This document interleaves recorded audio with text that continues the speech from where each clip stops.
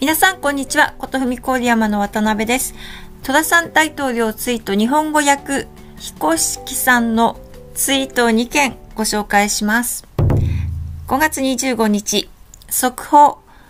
ジョージア州 F 軍の不代で監査に注目。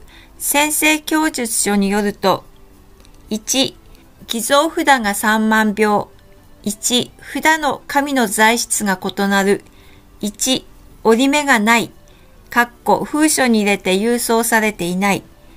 1、候補者選択マークが全く同じで、機械印刷 ?1、90%の札が梅田に。1、950の軍人札はすべてが梅田。しかも票が連番。5月25日、速報。フロリダ州知事はビッグテックの検閲を防止する法律に署名しました。1、州不代で候補者のアカウントをブロックすると1日あたり2700万円相当の罰金。